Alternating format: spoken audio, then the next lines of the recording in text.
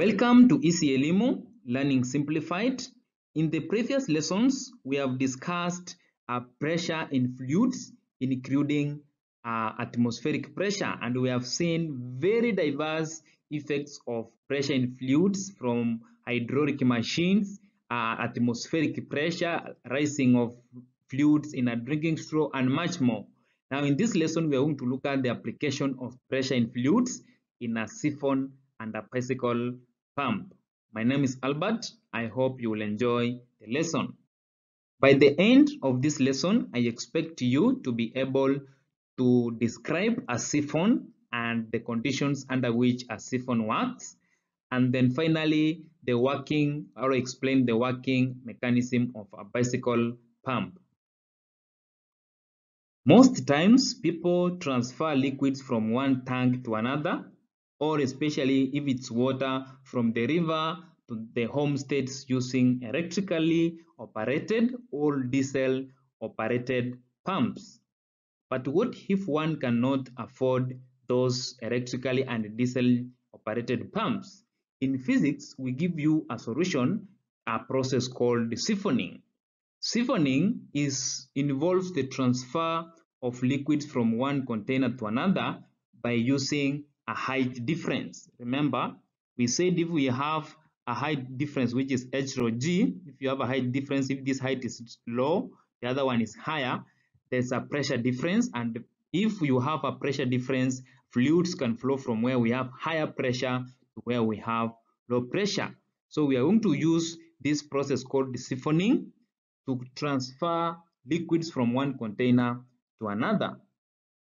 So for you to set a siphon or the process called siphoning, you must have two tanks. The first tank must be at a very high height, then the second tank must be at a lower height.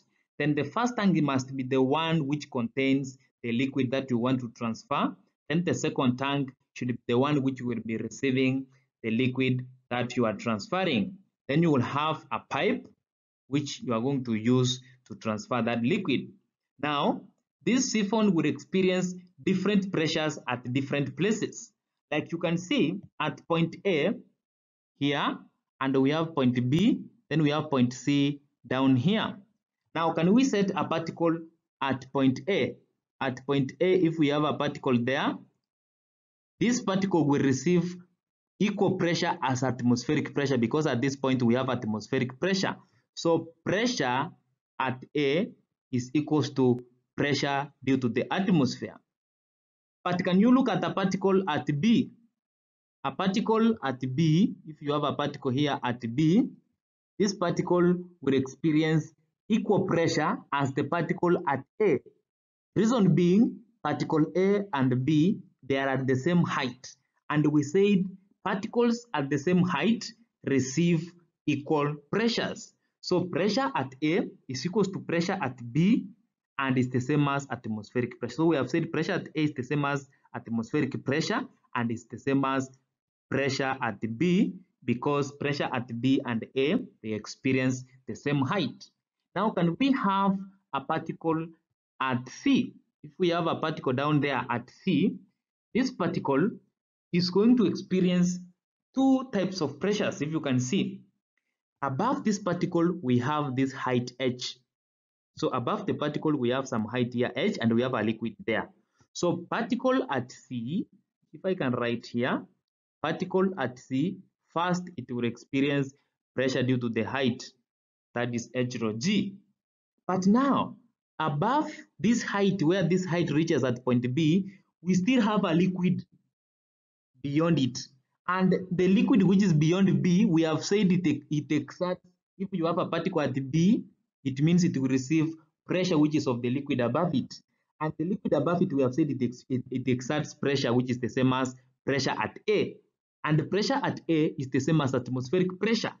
So at point at, at point C, the particle will receive pressure due to the height plus pressure at B.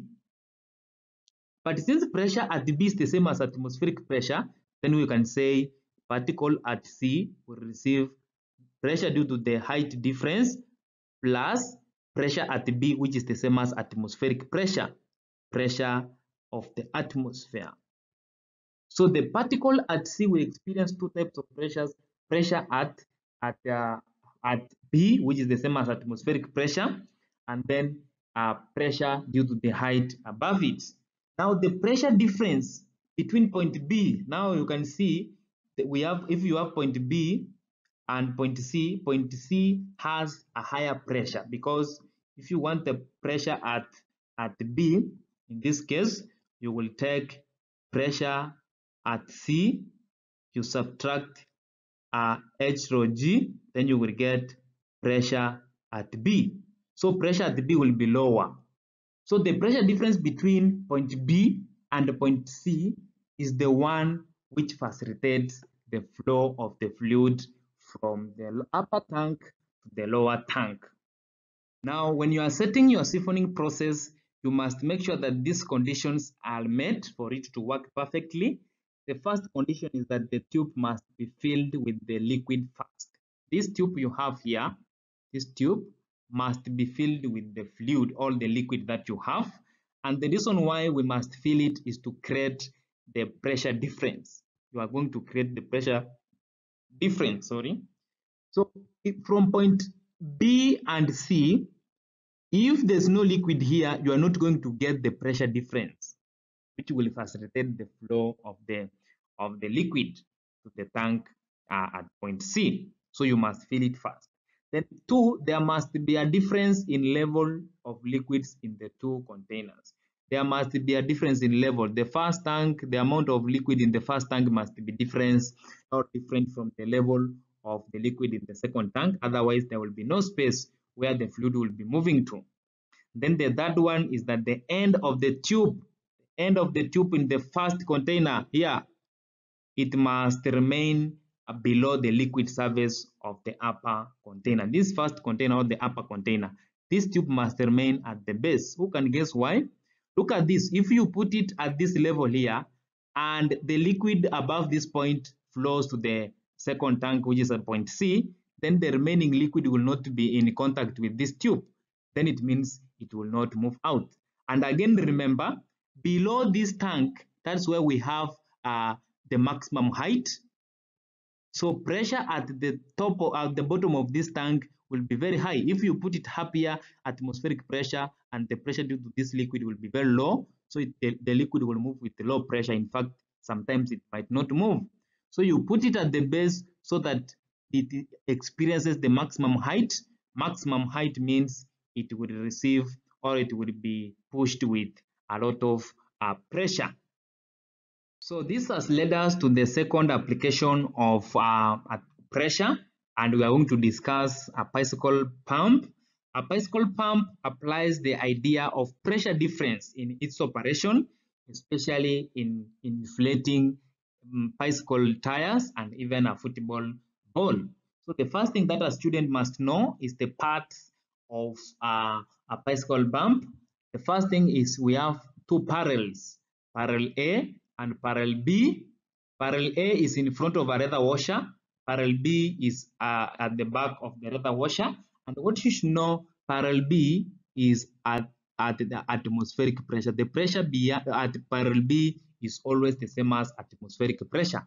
Then we have a handle, we have a spring, then we have a nozzle, a nozzle which connects to the tire valve. Now, what happens when you pull out? When you are pulling this handle out, what will happen? The space or barrel A will expand. The air inside barrel A will expand. Expanding means it will occupy a large, a large volume. When it occupies a large volume, it means the particles of air will be distributed at a very wide uh, volume. When particles are very far away from each other, it means here we will have low pressure because particles are not under pressure, they are distributed. We will have low pressure. Now this low pressure at point B, since it's at, at atmospheric pressure, parallel B will have high pressure. Parallel B will have high pressure. Now due to difference in pressure between B and A, now uh, the, the, the pressure will move, all the air pressure will move from where it is high, from parallel B to parallel A.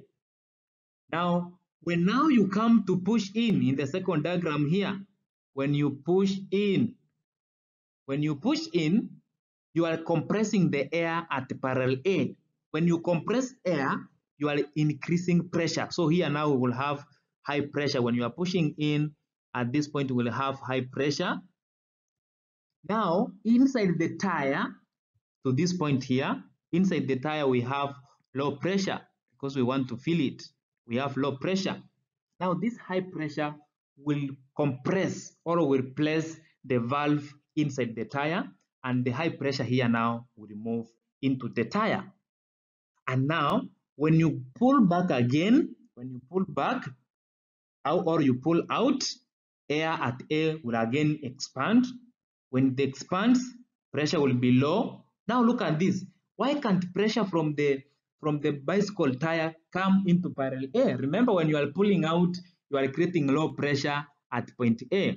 And the valve of the bicycle uh, uh, tire is designed in a way that when there's high pressure inside and low pressure outside, the valve closes. But when there is high pressure outside, low pressure inside, it opens. So the car or the, the, the valve of the bicycle tire is very special in a way that when there's high pressure inside, it closes.